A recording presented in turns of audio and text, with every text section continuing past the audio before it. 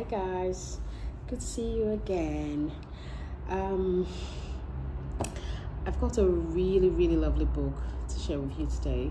Unfortunately, this book is so good, I couldn't hang on to it. I had to send it to my sister um, to read, but I made some notes and uh, I've written my review um, for strokesonpaper.com and I'm just about to give you the lowdown on this fantastic, fantastic book, um, The White Tiger. I've got a very big note.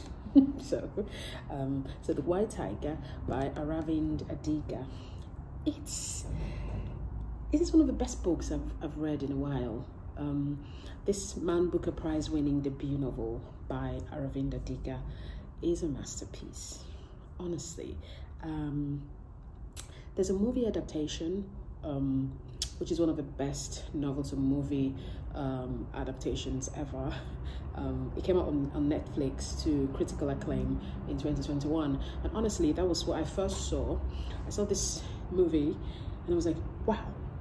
And then I realized that the movie was based on, on a novel and I wanted to be sure to read that novel and I finally did. Um, so, and I could in fact, uh, I could in fact not, not wait. Um, after reading it, I had to share with my sister. So um, I sent it. So she's a Gayle to my um, Oprah. okay, so I sent her the book and right now she's just screaming um, about how wonderful it is. Anyway, um, so, and then the movie uh, was really fantastic. It had uh, Priyanka Chopra Jonas uh, in it, and there was just a lot of fine acting, and you know, it just feels so realistic, and um, unlike many other novels that became movies. I really, really love this one. Okay, so um, so if you if you don't find the novel or you haven't got a lot of time to read, you can watch the movie while you wait to you know for a chance to read the book anyway so uh, so this book um, is really ingenious um, a very ingenious literary piece by uh, Indian journalist and writer Adiga. Um, so the novel's plot unfolds as a letter written in seven consecutive nights by the protagonist, Balram. So when we meet Balram, uh, he's a successful businessman with a fleet of luxury taxis um, which caters to the teeming tech startups uh, and outsourcing companies in Bangalore, uh, in India. India is quite um, famous for this. Um, so, this letter is being addressed to the Chinese Premier Wen Jiabao. I don't know, my Chinese is terrible, I'm sorry. Um, so, it tells the story of Balram's rise from abject poverty and servitude in his village to the entrepreneur he now describes himself as. So he begins by narrating the peculiar story of his childhood um, as the son of a rickshaw puller in Lasmanga. Um, so as a child, in a very large, typical uh, extended family setting uh, in India, grappling poverty and and and want, you know, and serious, uh, I don't know, like being like at the lowest rungs of society. Um, Balram shows great academic progress, um, even being described by an education uh, supervisor as a white tiger. That's where he got um, his title from, uh, which is what he then calls himself. So the supervisor visits his neglected village school um, and you know nobody else is forthcoming with answers to the questions that he poses to the students apart from uh, Balram. So um, so he's offered a scholarship, but before the date of his departure to a better school away from the village, his grandmother, uh, who is this really really, well, she's like the head of the family, she forces him to leave school and work instead in a tea stall because a dowry for his cousin's wedding has further plunged the family uh, into debt. Um, you know, the debt of the shrewd landlord and um, very mean businessman nicknamed the Stork. So um, while working at the tea stall, something happens. Um, he's working with his elder brother, Dam, uh, Dambad, I think. Was that the name of the place? I'm not sure. He's working with his elder brother, Kusum, I think. Um, so Baram learns about the Indian government and the economy through the conversations of the tea stall's customers. So he's a very good listener. He's always been, um, you know, one of those people who just um, sort of just watches people and learns, you know. Um, so when his father dies from tuberculosis and the lack of medical staff uh, at the community hospital, Bahram works for a while with his, uh, with his brother uh, Kasum in Dhanbad before learning how to drive. So somehow he picks a conversation where it just turns out that drivers were making a lot of money, you know, and he just needed to get out of this life of, um, you know, servitude. So he decided to learn how to drive. So, and then of course he wanted a uniform. Um, Diga tells this really, really moving story uh, about how people in the darkness, which is how he refers to um, those from the lowest caste uh, in Indian society. They were very impressed with uniforms. Um, you know, a uniform meant that you were a bit successful. Um, so uh, Balram is really stoked about the idea of a uniform. So, um, well, it was aspirational, you know, for him, aspirational to wear a uniform, to be a driver, to learn something. So, um, so after paying for his driving lessons, his authoritarian grandmother makes him swear that almost all his income from driving will be sent home. Um, so Bahram schemes his way to the home of the stork, remember stork uh, from the village, you know, that his family was owing, and becomes a driver to his newly returned son, Ashok, and his American wife, Pinky Madam.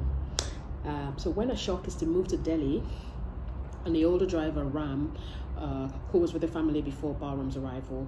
Um, of course, he's a likely candidate to go with um, with Ashok, um, Bahram. So, um, apparently, it's an honor for a servant to go to jail for his master, mm. and uh, and his grandmother is aware that he's going to do this. This is going to be his fate. So, um, and it is at this point that Bahram begins to seriously question, you know, um, everything happening around him, uh, and then he begins to seriously consider breaking out of this metaphorical chicken coop. Um, so he describes this as the servant's bane in India. Um, the poor are like roosters in a cage um, at the market watching their numbers decrease as customers come and you know point at them and they're and they're and they're slaughtered and you know packaged for the customer. And the other ones are still there. Even when you open it nobody runs off. Uh, well that's not to say the chicken or people but you know none of them escape because they've been conditioned to think that this is their ultimate um, destiny to to die in this manner. So and you know um, they keep waiting patiently uh, for their own moment of, of death. So and, and Bahram in this in this letter that he writes to the premier tells him that this is the problem of, of poor people in India and this mentality of servants and you know people who don't think that they deserve more or that they can break out. So um, in the end the case is dropped uh, you know, the um, hit and run, uh, as no family comes forward to claim the dead child. Obviously, they're poor and homeless. Uh, who are they to, uh, you know, to go to the police and say, hey, uh, one of our kids was knocked down on the road uh, in the middle of the night? Because I mean, what was the kid doing on the middle of the road, um, in the middle of the road at night and whatnot? So, um, but Pinky Madam, who's been unhappy, she just at this point decided that she's had it uh, of what kind of family is this and why is Ashok not going back to the US, you know, where they had come from. And all of a sudden he's taking over this this branch of the family business. He's going to be bribing um, politicians and, you know, doing whatever it takes, you know, in town for his family to run their businesses without, I think, paying tax. Yeah, so, and she's had it. So she leaves her husband and returns to America. Um, so as soon as she leaves, of course, Ashok spirals out of control. He becomes this whole new person, and this whole new person that he becomes, I mean, is someone that even Bahram does not recognize. Um, so, so, but um, um, he continues to participate in, you know, bribing government officials uh, for his family to evade tax. Uh, and then on one occasion, when Bahram takes him to drop off a huge bribe, he he Bahram stabs him.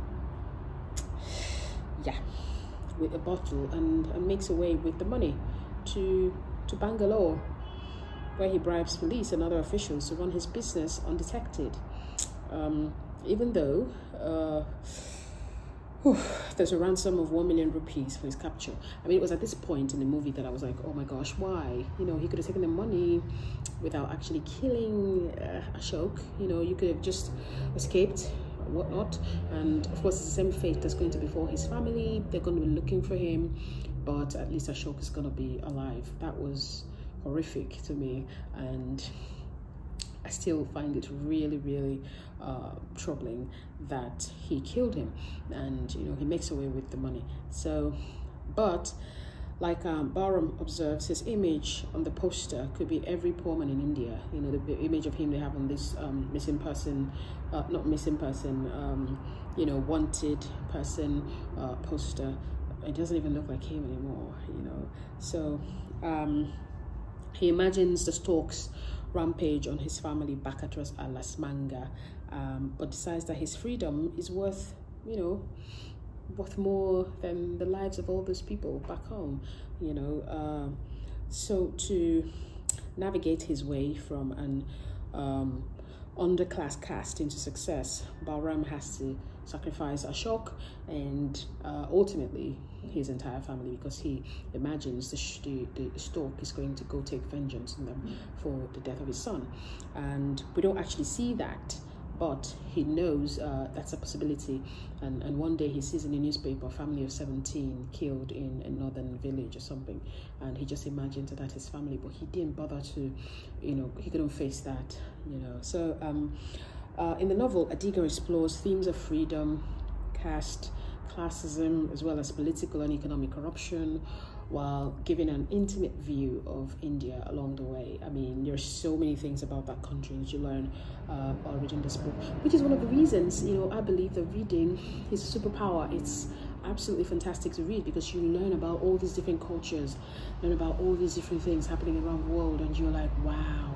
Um, because it's a really deep um, look at you know what's going on and and for me uh, this book you know, it just offers us that intimate look um, into uh, India. So, uh, and um, from the perspective of a dirt poor person who made it into success by committing a gruesome murder. Uh, there's humor and a certain beauty in the evolution of Bahram uh, into Ashok. His uh, adopted name in Bangalore. So in Bangalore, he, he then takes the name of the man that he killed. Imagine killing someone, running off, wanting to start a fresh, uh, you know, wanting a fresh start, and then taking on the name of the person that you killed to get there. Ooh, Bahram is one twisted guy. So, um, and the intricate webs weaved in between, uh, you know, these are the things that we see in the novel, and um, telling the story as a letter authenticates experiences shared and gives a definite place to India's invisible poor. Um, so the murder also opens up discussions on right and wrong and the true cost of freedom. Adiga's work is a must read. Uh, absolutely. So um, do read it and um, uh, share your thoughts. And um, as usual, go to www.strokesonpaper.com for a written review and please let me know your thoughts. And uh, you have any more questions or you want us to discuss this further, you know what to do. Comment, subscribe and share please. Um, anyway um, enjoy the rest of your day. And I have just recently started you know uploading videos to the lectures uh, portion of this channel. Um, I'm teaching things from um, creative writing to um, you know um, just uh, beginning beginner level stuff uh, grammar uh, you know literature um, GCSE level stuff, A levels, whatever. So just um, uh, look at it and see if you find it helpful. Please, if you are new, try to subscribe and share. Thank you so much. I will see you in the next video. Bye bye.